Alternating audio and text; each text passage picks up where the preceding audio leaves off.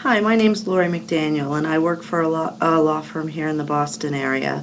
And we've been using GoToMyPC since before it was owned by Citrix.